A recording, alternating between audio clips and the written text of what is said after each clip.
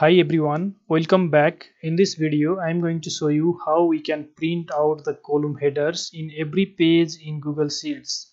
Here in the screen, you can see a Google worksheet and here I have a data. My requirement is to print out this data with the column header that repeat in every page. If I click on the file tab, then click on print. In this case, in the second page, the column header is not given but here I need to print the column header in every page. So here in this case first of all go back by clicking on the cancel. Then here click on the row that you want to repeat in every page.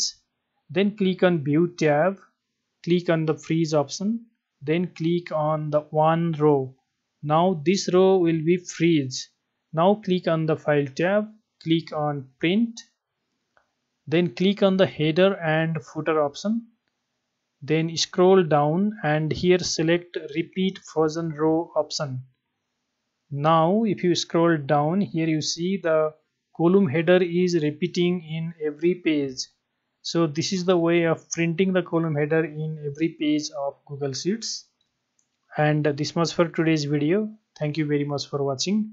We will again meet on next video tutorial